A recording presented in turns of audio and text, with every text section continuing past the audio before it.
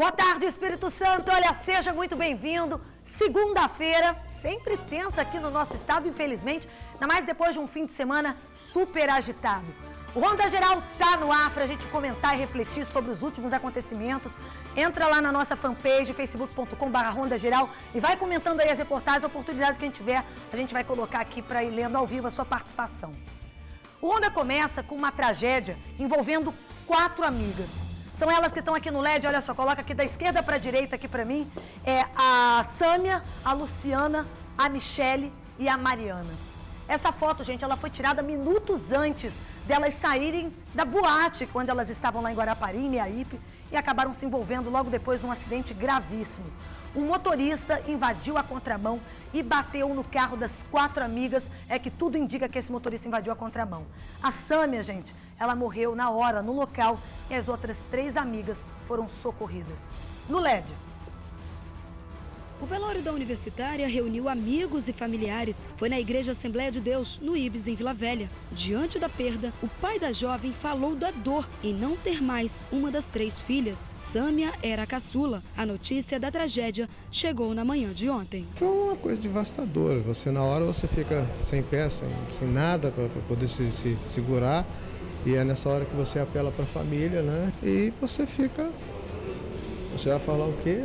Você vai fazer o quê? Hoje, inclusive, deveria ser um dia de festa. Afinal de contas, é o aniversário da sua ex-esposa. Justamente. É, é, é, hoje, né, ela estaria fazendo aniversário. Inclusive, ela estava voltando justamente para poder ontem almoçar com a mãe, ficar com a mãe e aconteceu essa tragédia. Sâmia era evangélica e gostava também de se divertir com as amigas. Segundo a família, sempre com responsabilidade. Uma jovem que tinha um bom exemplo, não tinha problema com ninguém, uma menina dócil, amável, muito querida por toda a família.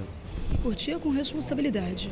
Sim, com muita responsabilidade. Samia e amigas voltavam de uma boate na madrugada de domingo, quando o carro em que estavam foi atingido por uma Saveiro, dirigida por Luciano de Paula Navarro, de 26 anos. O motorista da Saveiro não quis fazer o teste do bafômetro, mas os policiais que atenderam a ocorrência do acidente disseram que ele aparentava ter sinais de embriaguez. Luciano foi autuado em flagrante por dirigir alcoolizado. Mesmo com tantos casos de imprudência no trânsito, seu Isaías não imaginava imaginava que a filha se tornaria uma vítima fatal. O mal do ser humano é achar que a coisa nunca acontece com ele. E o meu coração, quando eu vejo uma mãe, um pai, quer seja num acidente de, de envolvendo carro, quer seja numa perca de droga, o meu coração chora. E eu olho aquilo de forma seguinte, poxa, quem sabe que amanhã isso pode acontecer comigo? O aposentado não espera por justiça, mas espera que o causador da morte da filha dele leve o acidente como uma lição para não ser mais imprudente. Você vai esperar que a justiça faça alguma situação? Quanto é que vale a vida pô, de, um, de uma pessoa? Uma fiança de 2 mil, 10 mil, 100 mil, 50 mil? Não tem valor. Não é esse valor. O valor é o sentimento, é o coração, é a dor. Qual o sentimento que o senhor tem em relação a ele? Meu anjo, é, eu poderia dizer para você que eu queria que ele morresse, eu queria que ele fizesse, mas não, não adianta. Muito pelo contrário, eu acho que ele tem que viver, né? É, é, é, se salvar, que também está machucado, e ele botar a mão na consciência e se arrepender e falar assim, poxa, eu fiz uma tremenda besteira. E que ele sirva de para outras pessoas, de testemunho, para falar para as pessoas, olha, não beba. Aconteceu, eu fiz isso, aconteceu isso, então não faça isso. A gente espera que Deus possa reverter o coração do ser humano, o pensamento do ser humano, para isso. Que palavras, né, desse pai, olha, realmente o que ele falou, que toque o coração das pessoas, né, de todos. Porque, gente, a, a lei né, do trânsito, o que está acontecendo hoje, que a gente está vendo, é diversas pessoas embriagadas matando no trânsito e não ficando presas e não cumprindo uma pena de fato que deveria ser rigorosa, porque não é só a blitz que vai evitar que a pessoa beba e não queira ser parada para pagar uma multa de dois mil reais. Não, não, ela não tem que pensar na multa, ela tem que pensar na vida. Então, tem que. Bafômetro, para mim, tinha que ser obrigatório. O motorista se recusou. Então, como não tem obrigatoriedade, não tem nenhuma lei que de fato obrigue, puna esse, infrator, esse, esse motorista, né? Então tudo corre muito solto. Agora, se foi uma vida, olha, muita força mesmo, olha, só Deus para confortar o coração dessa família, dona Sara, mãe. Hoje, aniversário dela, gente. 65 anos, completando hoje, está enterrando a filha. Triste demais. E olha, familiares contaram que né, as jovens não iam para o show. Elas passaram o dia todo na praia e conseguiram de última hora ali os ingressos. E o que chama a atenção é que todas as vítimas do acidente eram jovens, bonitas e com um grande futuro pela frente. Dá só uma olhada no perfil que a gente fez né, com as vítimas no LED. Sâmia Isabela Ferreira tinha 24 anos, estava no banco do carona e morreu na hora. A universitária havia sido aprovada para o curso de engenharia civil, ainda iria começar a estudar. Foi enterrada hoje, no dia do aniversário da mãe. Quem dirigia o carro era Luciana Turino. Ela é fisioterapeuta, tem 30 anos e mora em Vila Velha. Teve fraturas no braço, está internada no Hospital Antônio Bezerra de Faria e vai precisar passar por cirurgia.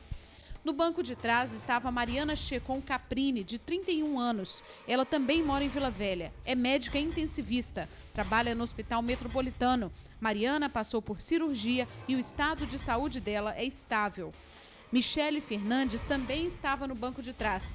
Ela tem 26 anos, é de Vila Velha e formada em fisioterapia. Teve perfuração grave no fígado e no pulmão. E olha, a repórter Suzy Faria também acompanhou o caso. Ela foi até né, o local onde os carros foram levados. E agora traz mais detalhes aqui no Ronda. Acompanha comigo. Marcas da colisão identificam o local onde o acidente aconteceu. Foi na rodovia Gilando Dario, próxima à localidade de Condados, em Guarapari. Quatro pessoas ficaram feridas e uma morreu. Os carros ficaram destruídos.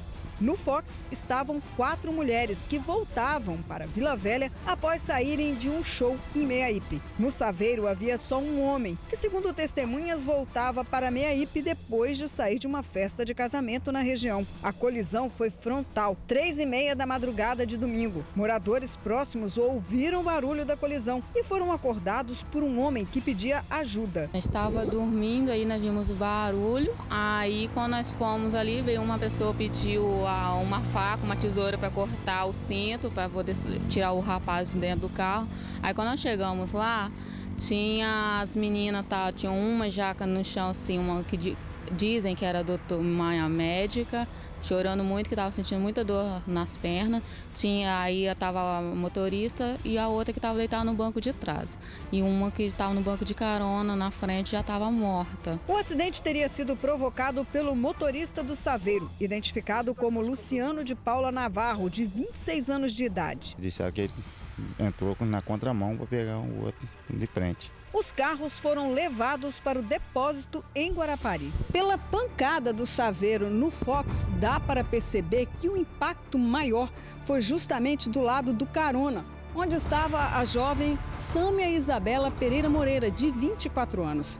Ela e mais as amigas estavam voltando de uma boate quando acabaram envolvidas neste acidente. Sâmia Isabela não teve chance de socorro. Segundo Dona Edmara, uma das amigas dela que estava no veículo é médica e até tentou ajudá-la. Conseguiu sair do carro, aí ela pegou, é, a moça ainda quis falar alguma coisa para ela, só que não deu tempo e faleceu. E ela foi ver e já tava, a moça já estava morta. O pai de Luciana Turini, que dirigia o carro, foi até o DPJ de Guarapari. Ele chegou a conversar antes com a filha sobre como o acidente aconteceu aconteceu. O que, que a filha do senhor contou para o senhor? Que ele entrou na contramão e foi, tentou desviar foi em cima dele. É.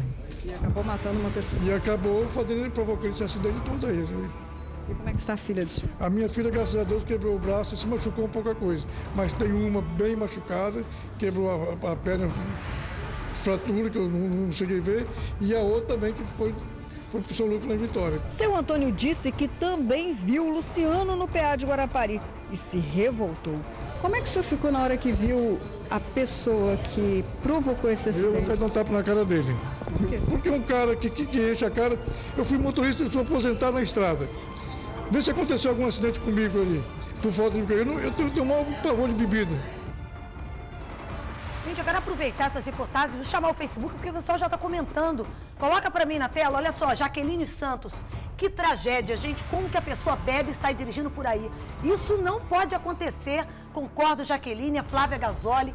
Eu fico indignada, pois quem está errado acaba aí, né, se dando mal. E quem não tem culpa paga pelo erro dos outros. Foi mais ou menos o que ela quis dizer, a Flávia Brigada, Tamires Antunes.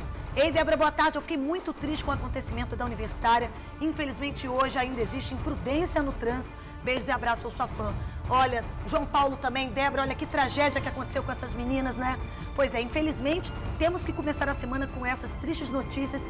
E ainda, ela morreu no dia do aniversário da mãe, coitada. Olha, imprudência de outra pessoa causou isso, hashtag eu quero só detalhar o seguinte, porque esse motorista, o Luciano, ele foi autuado pelo plantonista da PJ lá de Guarapari, autuado por embriaguez, porque ele apresentava sinais, porque tinham testemunhas que viram, mesmo ele se recusando ao bafômetro. E foi arbitrada uma fiança para ele de sabe de quanto? 7 mil reais, 7 mil uns quebrados, 7.240 reais. Pois é, mas ele está internado, também sofreu escoriações, né? O saveiro que ele estava, o carro, tinha airbag, ele deu sorte, mas Estava voltando de um casamento, de uma festa, teria bebido. Agora, a motorista do carro também, né, quebrou o braço do Fox, onde as amigas estavam e a Sâmia morreu. Essa amiga também está se recuperando. A que tudo indica, ela não teria ingerido bebida alcoólica, é evangélica. O pai disse que condena esse tipo de situação, que ela não é disso, enfim. E que realmente agora a gente lamenta muito a perda da Sâmia, porque uma jovem que ia começar uma carreira agora, né, engenharia civil, que era o sonho da vida dela. O pai disse que ela era uma das filhas mais carinhosas e amorosas, curtia rapel, esporte, natação, e se foi a vida por um triz. A gente vê que por um por instantes a nossa vida não vale nada depois, a gente não está mais aqui. Então a gente tem que botar muita mão na cabeça e pensar muito antes de sair pegar um carro, porque o carro não é só um transporte, não, é uma arma que você tem. Então olha só no que, que dá. É uma reflexão que eu deixo aqui para todos os jovens, adultos, idosos, todo mundo, né, que tenha mais imprudência independente da lei. Porque agora, se a lei fosse mais rigorosa, eu queria ver se qualquer um bebia e pegava o carro. Eu sou contra isso. Eu acho um absurdo uma pessoa inconsequente beber e pegar um carro. Eu condeno qualquer tipo de situação como essa. Vamos mudar de assunto, porque teve uma denúncia, gente, de um baile funk com pessoas armadas e uso de droga também, segundo aí pessoas que fez com que a polícia ontem ocupasse a praça do bairro Feu Rosa, na Serra. No local, houve confronto, que nem dos protestos, né? Policiais levaram pedradas e garrafadas e depois evitaram com tiros de bala de borracha e bomba de gás. Solta pra mim, no LED. O vídeo feito por um morador da região mostra parte da movimentação na praça do bairro. De repente, o grupo começa a correr.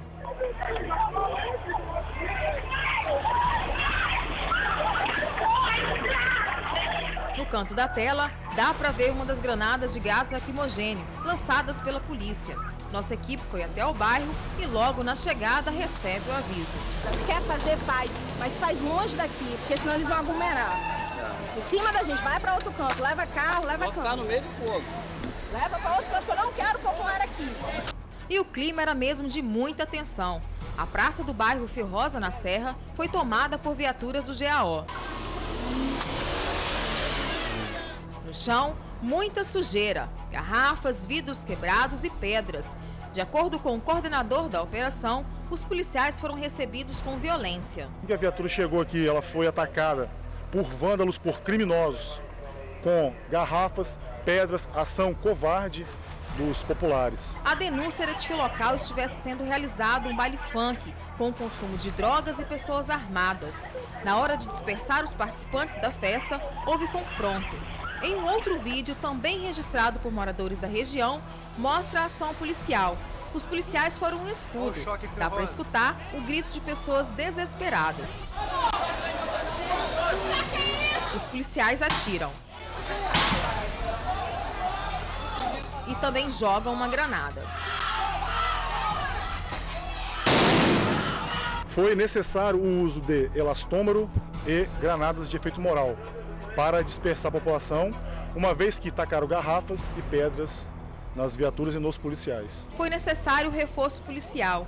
A cada minuto, mais viaturas chegavam ao local. No total, 18.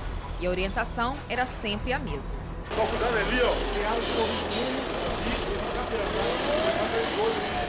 Ruas foram fechadas. Policiais ficaram com as armas nas mãos. Durante a ação da polícia, ouvimos até um barulho de explosão. Na correria, muita gente largou tudo para trás. O chinelo ficou pelo meio do caminho e neste canto encontramos várias bicicletas que foram abandonadas. A moto também foi derrubada. A Polícia Militar aconselhou nossa equipe a sair do bairro e, por algum momento, nós tivemos que permanecer neste local para nos proteger de um possível confronto. Até a saída da nossa equipe do bairro, ninguém havia sido preso. Ah, ah.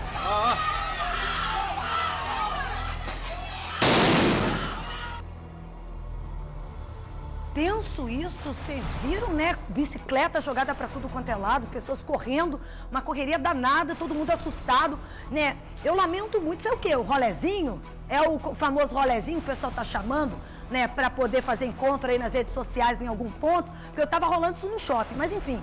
Pracinha de Ferro Rosa, encontro de jovens, para diversão baile funk. Eu não tenho nada contra diversão, né? Muito menos o funk. Eu sou do Rio, gosto de funk pra caramba. Eu acho que tudo é a gente pode analisar com o lado cultural. Porém, tudo que ultrapassa o limite, é, é, toda ação tem uma reação. Bota aí pra mim imagens novas que acabaram de chegar do início desse confronto. Solta aí no LED pra gente acompanhar o que, que aconteceu. Daqui a pouco a gente comenta. Começou gás lacrimogêneo. É bomba. Com necessidade disso, cara, encheu roda, a polícia militar tá atirando e vai tirar pra cá. A polícia militar tá atirando, bala de borracha. A polícia militar do Espírito Santo está atirando bala de borracha contra a população. Isso é um absurdo. A polícia militar está atirando balas de borracha. O direito.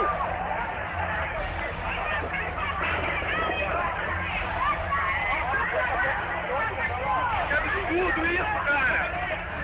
Olha, vocês viram que o morador estava tenso ali narrando. Obrigada pelas imagens, Almi Júnior, você deu pra gente. Agora é o seguinte, Vem pro Facebook, vamos fazer essa interação, porque o pessoal está comentando também. E eu li muitos comentários antes né, da gente começar o programa. Desde ontem à noite eu tô lendo. Vamos ver o que o pessoal escreveu, daqui a pouco eu comento o que eu li. Cátia Araújo Cardoso, olá Débora, isso é um absurdo. A polícia militar agir contra as pessoas que só estavam se divertindo. Lá havia crianças e mulheres e eles começaram a atacar contra os moradores. Não havia nada demais ali na praça. Eu sou moradora daqui e não tenho nada para reclamar. Tá aí a Cátia, curti, obrigada por ter participado. E ela mora lá e ela viu. Enfim, Jaqueline Santos, nossa, aqui no meu bairro já teve vários bailes na pracinha e quando passa de meia-noite começa a dar tiroteio lá. Parece filme de faroeste, todo mundo sai correndo e eu fico com medo. Então, olha só, são duas opiniões aqui divergentes. Pelo seguinte, eu vou dizer também que eu li pessoas comentando o seguinte, que é uma diversão, não tem nada demais. Porém, gente, também teve um outro morador que escreveu aí nos comentários do vídeo, que postaram também lá no meu Face, dizendo o seguinte, que o baile parece que começou umas três horas da tarde, esse encontro com os jovens. Até então estava tudo tranquilo, a galera se divertindo, o morador passeando na rua. Porém, esse morador disse que viu muitos é, jovens fumando, bebendo, menores de idade. E lá para as 8 da noite o negócio começou a perder, sair de controle. Então, olha só, 8 horas da noite a polícia militar parece que chegou lá, de acordo com esse morador, para poder ficar meio que em posição assim de, de atenção. E aí, populares que já estavam ali no meio da farra, alguns jogaram garrafas e pedras contra a polícia militar. Aí, meu amigo, é o que eu falei, toda reação, toda ação tem uma reação. No que fizeram isso, começaram, começou o revide, como é uma coletiva, é, uma, é muita gente reunida, tem correria, corre, corre, a polícia não controla e fez o que fez. Eu não sei agora de, de, de feridos nesse local, mas é o seguinte, Ferrosa é uma região de grande índice de homicídios, de casos assim de, de, de sequestro relâmpago que, que a vítima vai para lá. Enfim, não estou eh, caracterizando nada do bairro, mas se estava tendo uma diversão, tem que até resguardar a polícia, tomar conta dos moradores que estão ali também se divertindo, para evitar qualquer confronto. A gente vê que morro aí está rolando tiroteio e guerra direta. Então a presença da polícia é justamente para dar segurança para o morador. Se aconteceu isso, que a polícia vai durante a tarde reavaliar e os moradores, a galera continua comentando. Bom, uma menina de 10 anos 10 anos. Foi atingida por uma bala perdida. Isso foi no bairro São João Batista, em Cariacica. Ela brincava, gente, na frente da casa da prima dela, quando ela acabou sendo ferida. No LED.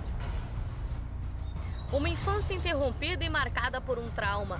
A lembrança da noite de ontem ainda assusta a menina de 10 anos que permanece internada no Hospital Infantil de Vitória. O tiro no tórax atingiu o pulmão direito da criança, que precisou drenar o coágulo que se formou. Vítima de uma bala perdida, a menina foi atingida enquanto conversava com amigos e parentes na frente da casa da avó em São João Batista, Cariacica. A menina veio gritando, chorando perto de mim, pedindo socorro, falou que tinha tomado um tiro no peito. Aí eu vi o sangue espirrando. Peguei só botei a mão só no peito dela que tava espirrando muito sangue, ela me pedindo água, querendo desmaiar, os pessoal gritando e foi aquele desespero todo. Segundo testemunhas, os atiradores subiram esta rua em direção à casa. Quando chegaram aqui na frente da residência, reduziram a velocidade e o carona sacou a arma. Ao perceber a ação dos bandidos, um dos rapazes que estava aqui na frente correu para dentro da residência. Todas as outras pessoas foram atrás, mas a menina de 10 anos acabou sendo a última a entrar e foi atingida. Pelas paredes da casa, a gente ainda encontra as marcas da violência. De acordo com a família, foram cerca de quatro tiros. Uma criança que mora ao lado do local ouviu o barulho dos disparos, correu e se escondeu debaixo da cama. Ah, ele correu, se escondeu debaixo da cama e jogou a coxa por cima. Depois de 40 minutos, todo mundo procurando, procurando no banheiro, na rua. Aí que a minha sobrinha foi achar ele debaixo da cama. Não se sabe ao certo o que teria motivado o ataque mas a suspeita é que o alvo seria uma outra pessoa. A menina foi socorrida pelos familiares, que estão assustados com tamanha frieza. Justiça, que se alguém deve, que alguém pague, né? Não os outros inocentes, né? Eu estou muito revoltada. Estou revoltada porque foi essa de 11 anos, mas tinha outro sobrinho meu de 2 anos, como eu falei, poderia ter pegado nele também, né? E esse já é o segundo caso com pessoas inocentes de bala perdida lá no bairro São João Batista, né? Até onde isso vai chegar eu não sei, né? Até onde eu não sei. Olha, gente, é isso que eu falei agora há pouco. Se a polícia não está no bairro, aí tem tiroteio e reclama que a polícia não está, né? Então agora vocês viram um tiroteio, pegou, pegou, comendo solto lá no bairro e acabou atingindo uma criança de 10 anos, gerando preocupação para a família toda. A criança está lá no hospital infantil de Vitória sendo medicada, né? A nossa equipe conversou né, com a assistência social lá do hospital. Então ela está sendo cuidada. Receberam a nossa equipe muito bem. Um abraço aí para a que atendeu a nossa equipe. E aí a gente analisa o seguinte: está acontecendo a violência né, na, nos bairros, aí quando não tem policiamento, poxa, porque na Serra daqui a pouco eu vou mostrar também para vocês, criança que foi ameaçada, teve um caso de uma criança ameaçada que a gente não tem a matéria, mas eu comento para vocês, porque já tiveram baleados lá também por conta da insegurança. Aí me vem voltando aqui para aquela questão de Feu Rosa que eu ainda estou analisando aquilo na minha cabeça. Aí a polícia estava lá presente, sabe quantas viaturas estavam lá, gente? 18, 18 viaturas, uma equipe enorme da Polícia Militar, enquanto em outros locais acontecendo mais violência. Aí olha só como é que um evento fora de controle dispersa uma proteção policial muito maior, uma demanda muito maior, enquanto outros lugares ficam ali à mercê. Então não dá para a gente aceitar também qualquer tipo de diversão em plena luz do dia, esses rolezinhos acontecendo por aí, sem um controle, porque qualquer evento que é feito, ele tem que ter um alvará, ele tem que ter uma organização. Né? Eu sou a favor das redes sociais, dos encontros, super a favor. Mas eu acho que tudo tem que ter um limite, tem que ser ponderado. Porque se sai de controle, pode acabar em tragédia. Então, gente, muita atenção. Aproveitar esses momentos de violência que está acontecendo e analisar se a polícia está agindo com truculência ou não. Porque aí quando ela age assim, aí, aí o pessoal reclama. Aí quando ela deixa de agir, também reclama. Então vamos ponderar e cada um analisar a parte aí para poder ter critério e coerência né, no, nos fatos para também a gente não sair falando qualquer coisa. Bom, e a vontade de fazer uma surpresa para a filha, gente, por pouco também não termina numa tragédia. Uma aposentada de 61 anos, ela decidiu fazer um bolo para comemorar o aniversário da filha dela. E ela queria fazer uma surpresa. Aí ela pediu aos familiares da filha para despistar, para sair com essa filha para a praia, enquanto a mãe ia lá na padaria comprar os ingredientes. Só que no meio do caminho, rolou um tiroteio. E aí a aposentada acabou sendo mais uma aí, hein? Vítima de bala perdida. É o que eu tô falando. Rodou. Regina Calimã, de 62 anos, estava a caminho da padaria quando foi vítima de bala perdida. Ela ia comprar os ingredientes para fazer um bolo para a filha, que completou 39 anos neste domingo. O restante da família estava numa praia, distraindo a aniversariante para que Dona Regina preparasse a festa surpresa. Nós já estávamos fazendo surpresa para ela, mas minha sogra já estava preparando o bolo para quando ela chegar a gente bater os parabéns para ela. Quando nós chega na praia, que está armando tudo certinho, que fomos acender a churrasqueira, o telefone toca. Baiano, corre cá que mataram a sua mulher. Falaram assim, mataram. Eu olhei do lado, minha mulher estava. Então eu falei, minha mulher não é. Não podia falar para minha mulher que estava todo mundo com nós. Eu desconfiei que era minha sogra porque falaram Calimã, certo? Assim que eu fiquei sabendo, coloquei todo mundo no carro e liguei para o marido dela. Esse caso aconteceu aqui no bairro Barcelona, na Serra. Segundo testemunhas, Dona Regina passou aqui pela avenida principal no momento exato em que dois bandidos em uma moto anunciaram o assalto a esta padaria. Não se sabe se o dono reagiu ou o que, que aconteceu. Moradores disseram apenas ter ouvido disparos e depois viram que Dona Regina tinha sido atingida. Depois do susto, a padaria foi fechada. Dona Regina foi socorrida e encaminhada para o hospital Doutor Jaime dos Santos Neves. À porta da unidade, a família dela fez um apelo, pediu mais policiamento em Barcelona. A segurança está falida, não tem segurança em lugar nenhum, certo? O Barcelona, nós não temos viatura passando em Barcelona, nós temos um DPJ do lado, dentro do centro mas as viaturas são poucas. Uma hora e meia depois, também na Serra, só que no bairro Porto Canoa, outra tentativa de assalto deixou mais uma pessoa ferida. Jonatas Coelho, de 22 anos, estava na garagem da casa quando bandidos que estavam de carro se aproximaram dos dois e exigiram que Jonatas entregasse a moto. Ele reagiu e acabou levando um tiro de raspão no peito. Os bandidos chegaram já agredindo ele, pedindo a chave da moto. Nisso, na hora que eles foram puxar a chave da moto, que ele puxou de volta, eles foram e dispararam um tiro. Na hora que eu vi que ele tinha tomado um tiro, a única reação que eu tive foi colocar ele dentro do carro e socorrer ele. Você achou que iam atirar em você também?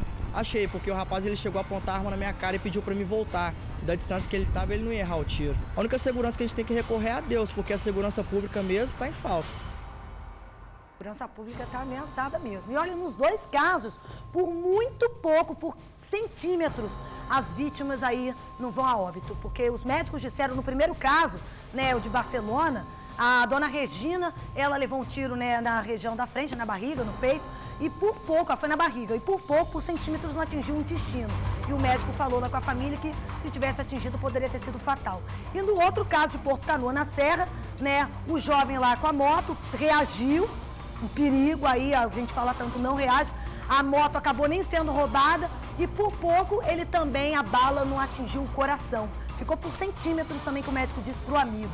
E a moto na hora não foi roubada porque cortou, tinha um sistema lá de alarme que corta a gasolina e os bandidos acabaram fugindo. E só para lembrar, gente, que Morada de Laranjeiras, na Serra também, esse mesmo dia, né? Criminosos tentaram assaltar aí um carro com um avô, então os criminosos ameaçaram um avô, a esposa e uma netinha também de seis anos.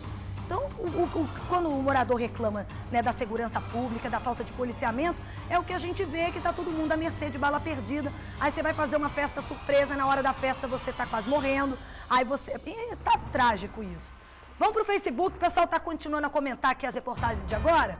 A Jéssica Cristina disse o seguinte: Sou moradora de Ferrosa e o que estava acontecendo ontem era o tal do rolezinho aí, como eu falei, comentando no Face. Quando eu passei por lá, eu vi muitas pessoas armadas correndo. Eu não acho abuso da polícia. Eu acho que demorou para chegar. Tá aí, olha, uma opinião de uma moradora, obrigada Jéssica Curti, dizendo que dentro, no meio lá da galera do rolezinho tinha gente armada. Então, se a polícia ajuda daquele jeito, também é para proteger o morador, porque nem todo mundo ali é vagabundo não, gente. Deus me livre. Ismael Bale o bairrozinho violento, este bairro Ferrosa, graças a Deus, nem passo perto desse lugar. Ô bairrozinho violento, pior que é mesmo. É, eu queria não noticiar que Ferrosa, vizinho ali, Vila Nova de Colares, são violentos, mas infelizmente a gente vê direto aqui. Fabrício Alcântara. Débora, boa tarde. Eu apoio todo tipo de festa e tal, mas temos que dominar nossos próprios limites, tanto a população quanto a polícia. Tem que ter limite. Então ele também está dizendo ali nas entrelinhas, né? Que faltou limite da galera e faltou limite da polícia também, porque sair atirando a Deus dará, você pega um inocente também. Letícia Minas, então, boa tarde, Débora. Olha a pracinha de Ferrosa, é um lugar tão lindo, seria uma ótima opção de lazer. Era para ser um baile e não uma guerra. Lamento muito por isso. E o Igor Santos também dizendo que é um absurdo isso que os policiais fizeram aí. O Matheus ainda postou aqui uma bala de borracha utilizada pelos policiais do bairro Ferrosa. Tá aí na mão dele uma, um cartuchozinho ali da, da bala de borracha. E eu vi foto também do Valmir, que tem várias, ainda mais a bomba de gás. Eu penso o seguinte, gente, é diversão. A moça ali falou, né? É uma praça bonita que era pra. Podia ter, sei lá, uma pista de skate, rolar um esporte, um projeto de capoeira, aula de música, qualquer coisa, mas é taxada aí pela violência. Isso tem que mudar, isso parte da gente, né? Também por que foram jogar garrafa pedrada na polícia? Aí é complicado a gente agora culpar alguém. Tem gente que não aprende. No sábado, um jovem ele foi preso durante uma operação do GAO em Cariacica. Aí ele acabou sendo liberado. Pois é, mas voltou para trás das grades em menos de 24 horas. Olha só isso. Prende e o cara já está solto. Aí eu pergunto, o que, que adianta prender? A polícia está enxugando gelo. No LED. Para muitos, uma segunda chance para mudar de vida. Para outros, apenas um dia perdido em uma cela. Felipe Siqueira Orlando, de 21 anos, faz parte do grupo de repetentes do fim de semana no DPJ de Cariacica. Ele foi preso novamente no fim da tarde de ontem, depois de estar com um amigo dando tiros para o alto, enquanto passeava de moto pelos bairros de Nova Brasília, Itacibá e Mata da Praia. Neste último, ainda ameaçou moradores. Mas a audácia do rapaz teve fim depois que a polícia começou a persegui-lo em Itacibá. As marcas no asfalto são da viatura que seguiu o suspeito até esta rua. Na curva, ele acabou caindo com a moto e correu em direção a esta ribanceira. Na fuga, Felipe acabou pulando deste barranco que tem aproximadamente 15 metros de altura. Daqui de cima, a gente tem uma breve noção do desespero do rapaz para escapar da polícia. Ele usou essas espécies de bancadas de barro para escapar chegando até aquele terreno lá na frente. Dali, ele correu em direção à associação de moradores, onde foi surpreendido pelos policiais que já o aguardavam ali. Felipe já havia sido preso no sábado durante uma operação que cumpriu mandados de busca e apreensão deflagrada pelo 7 Batalhão. Ele e outras 10 pessoas foram detidas no sábado por suspeita de tráfico de drogas. A polícia encontrou dois tabletes de maconha dentro da geladeira de uma casa no bairro Oriente, em Cariacica. O imóvel era alugado e usado como depósito e ponto de vendas. O esquema foi descoberto pela polícia depois que dois traficantes chegaram no momento em que a droga foi encontrada. Eles chegaram no local e acabaram se assustando. Ao... Eles não sabiam que a polícia estava lá dentro? Eles não sabiam. Foi abrir a porta? Foi abrir a porta e deu de cara com a gente.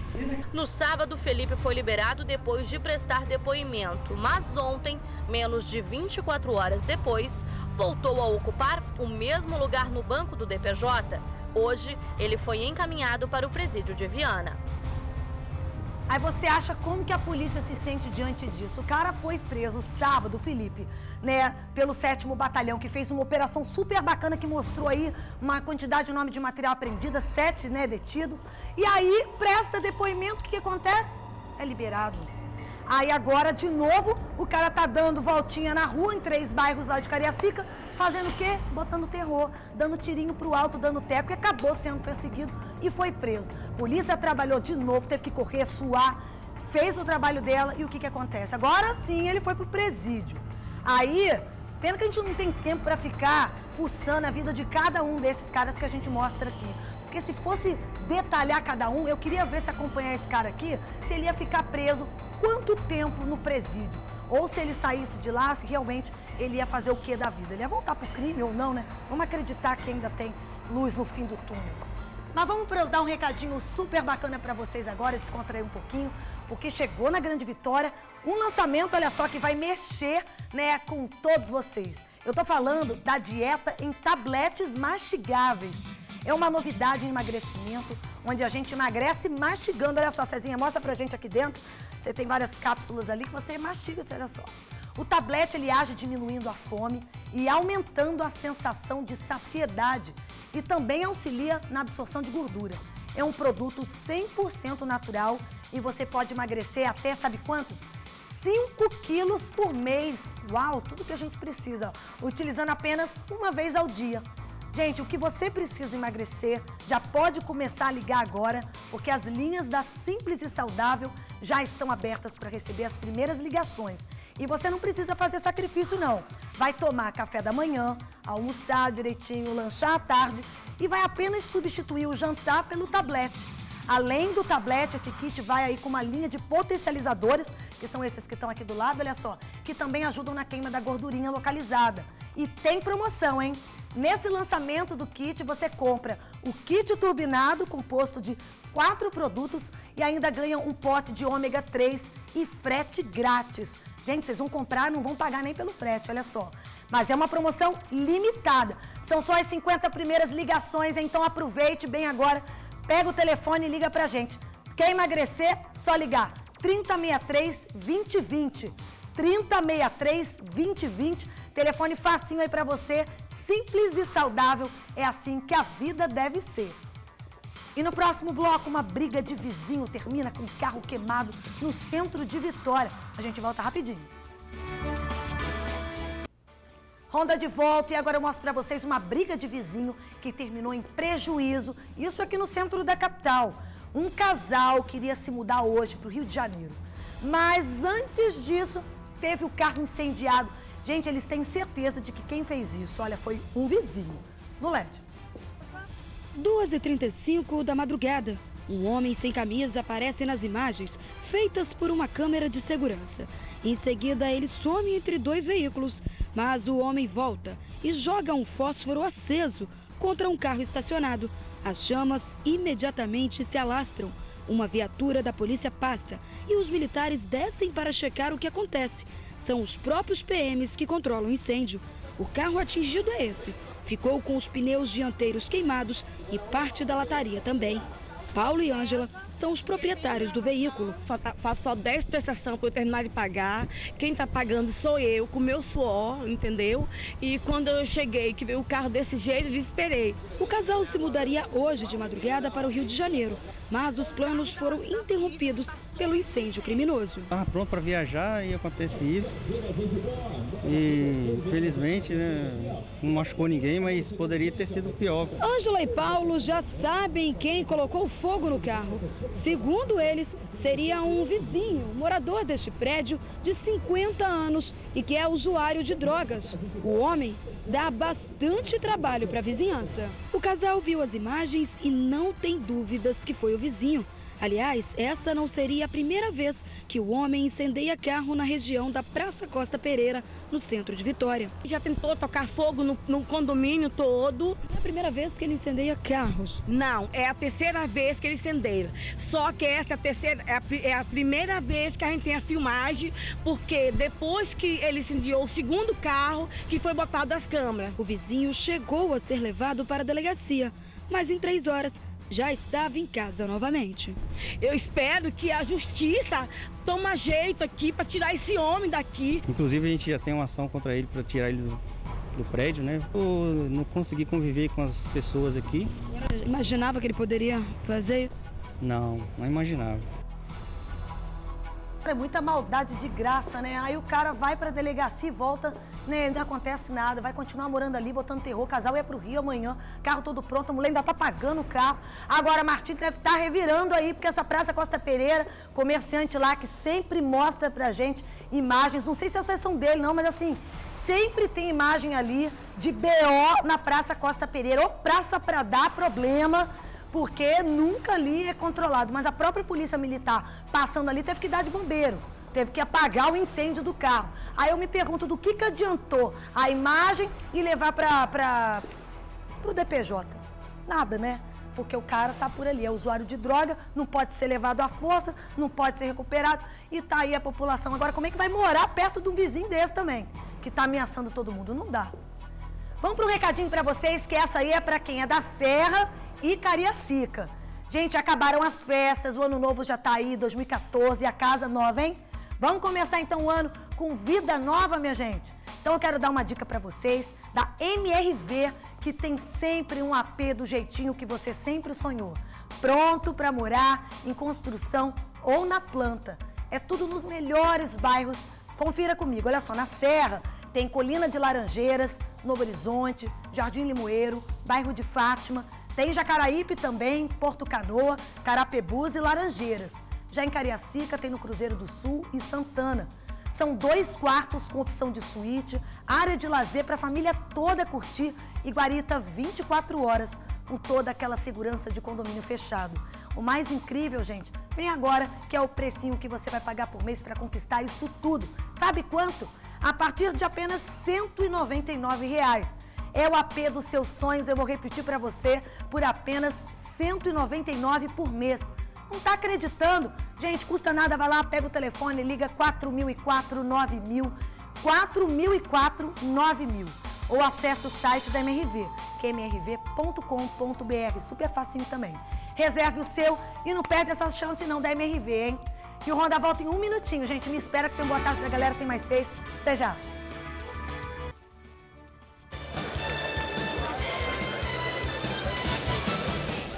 Calma aí, peraí. Fala boa tarde, bota tarde junto, fala é, um beijo, papai, um beijo, mames. Só isso. Vai. Um, dois, três e. Débora, um abraço pra você. Nós estamos aqui na Glória, um beijo Padinha. Um abraço pro Caetano e pro Jean da Andrique. Meu recado pra Débora, Débora, manda um beijão pro pessoal de Domingos Martins, tá lá de Campinho, tá? Fala do perfeito pra tomar vergonha na cara, viu? Pra ele dar uma olhada, porque no dia da enchente lá tava muitas casas lá, a água invadiu. Um abraço para a Débora, só isso? Boa tarde, Débora. É, tô mandando um beijo e um abraço pro Cristiano, pra minha irmã, a Débora, e minha mãe, Conceição, que tá lá em Barra de São Francisco. Boa tarde, Débora. Queria mandar um beijo pro meu papi. Eu queria mandar um beijo pra minha mãe. É, e, é, e pro meu namorado, gente. Vai fazer aniversário mês que vem. Tá chegando. Não. Quer seu namorado? Não. Quer não? Não. Qual é? Qual foi? Por que é que tu tá nessa? Mentira, mentira, tá tendo um rolo aí. Boa tarde, Débora. Um beijo, um abraço pra todo mundo aí, tá? Boa tarde, Débora. Um abraço. E quero fazer um beijo, um abraço. Minha esposa trabalha no Colégio Copo. Hã? Eu te amo.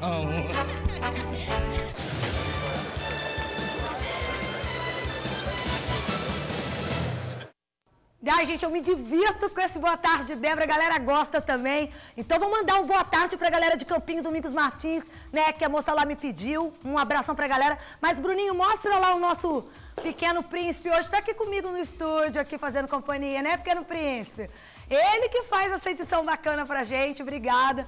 E eu um pouco de rir aqui. E mandar então um beijo pra galera também de São Mateus, porque a Marina aqui da Cantina da Tribuna falou que geral lá de São Mateus também assiste a gente. Vamos pro Facebook. Claudilene Silva e Débora, manda beijos pra mim. Eu tô sempre ligadinha no Honda. Hoje em dia não se pode mais nem ir mais a, algum, a lugar nenhum. Sem medo nem, nem para comprar um pão na padaria. Corremos risco de levar uma bala perdida. Queremos mais segurança. Pois é, foi na padaria lá que a senhorinha acabou levando tiro de bala perdida para fazer o bolo para a festa surpresa da filha. Jaqueline Santos. Nossa, que vizinho filha da mãe. Se fosse aqui no meu bairro, ai, ai, nem vou comentar. Pois é, que isso revolta dá vontade de sei lá o que mesmo, melhor nem falar. Valeu, Jaqueline. E o Matheus Mota. Boa tarde. Olha, infelizmente, esse é o estado em que vivemos. As leis de hoje estão ajudando mais os bandidos do que a própria população. Queremos justiça. Gente, eu gosto tanto dessa palavra, mas ela é tão justiça, ela é tão. Não, é uma, não tem definição, porque a gente não vê isso acontecer. E eu sempre leio, a gente ouve a população falar: eu quero justiça, quero justiça, quero justiça. Vamos tentar levar mais, não ao pé da letra, mas na essência, o que, que isso pode gerar e melhorar a nossa vida daqui em diante. O Onda fica por aqui. Logo mais às 7h20, o Jorge Beat traz notícias para vocês no TN2.